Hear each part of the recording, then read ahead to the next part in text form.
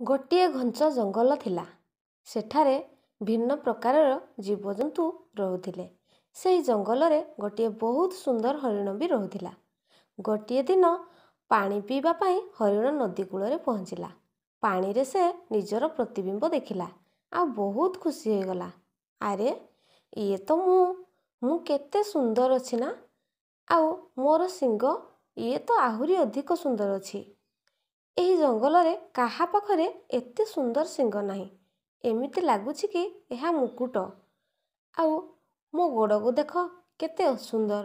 ମୋ ଶରୀର ସହିତ କିଛି ବି ଭଲ ଦେଖାଯାଉନି। ଏହା କହିକି ହରିଣ ଜଙ୍ଗଲକୁ ଫେରିଗଲା। ରାସ୍ତାରେ ତାକୁ ଗୋଟିଏ ଠେକୁଆ ଦେଖାହେଲା।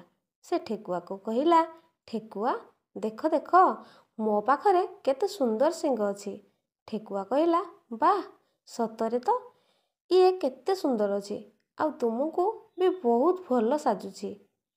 କାଶ୍ ମୋ ପାଖରେ ବି ଏମିତି ଶିଙ୍ଗ ଥାଆନ୍ତା ତ ମୁଁ ବି ସମସ୍ତଙ୍କୁ ଦେଖାନ୍ତି। ଆଉ ମୁଁ ତୁମ ଭଳିଆ ବହୁତ ସୁନ୍ଦର ବନିଯାନ୍ତି। ଠେକୁଆର ଏହି କଥା ଶୁଣିକି ହରିଣ ବହୁତ ଖୁସି ହୋଇଗଲା। ପୁଣି ହରିଣକୁ ରାସ୍ତାରେ ଗୋଟିଏ ବିଲୁଆ ଦେଖାହେଲା। ଆଉ ତାକୁ ବି ନିଜର ସୁନ୍ଦର ଶିଙ୍ଗ ଦେଖାଇଲା। ଆଉ କହିଲା, ତୁମ ପାଖରେ ବି ମୋ ଭଳିଆ ଚାରିଟି ଗୋଡ଼ ଅଛି। ତୁମେ ବହୁତ ଚାଲାକ ବି ଅଛ। କିନ୍ତୁ ତୁମେ ମୋ ଭଳିଆ ସୁନ୍ଦର ନାହିଁ। ବିଲୁଆ କହିଲା, କିନ୍ତୁ ତୁମେ କ'ଣ ପାଇଁ ଏମିତି କହୁଛ? ହରିଣ କହିଲା, କାହିଁକି ନା ତୁମ ପାଖରେ ମୋ ଭଳି ଶିଙ୍ଗ ନାହିଁ। ବିଲୁଆ କହିଲା, ଏହା ତ ସତ କଥା। ତୁମର ଶିଙ୍ଗ ବହୁତ ସୁନ୍ଦର ଅଟେ। ଏମିତି କିଛି ଦିନ ବିତିଗଲା। କିଛି ଦିନ ପରେ ହରିଣ ଜଙ୍ଗଲରେ ଘାସ ଖାଉଥିଲା। ସେତେବେଳେ କିଛି ଶିକାରୀ ଜଙ୍ଗଲକୁ ଆସିଲେ। ଆଉ ହରିଣକୁ ଦେଖିକି ତାକୁ ଶିକାର କରିବା ପାଇଁ ତା ପଛରେ ଦୌଡ଼ିଲେ। ଶିକାରୀକୁ ଆସୁଥିବାର ଦେଖିକି ହରିଣ ବି ବହୁତ ଜୋରରେ ଦୌଡ଼ିଲା।